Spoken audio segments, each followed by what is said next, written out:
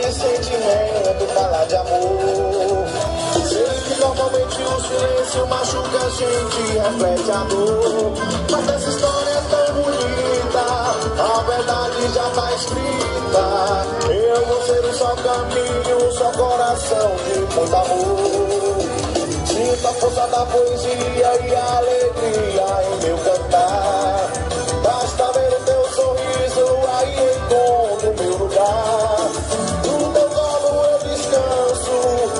alimento do teu cheiro. Um menino bagunceiro que agora busca o sossego.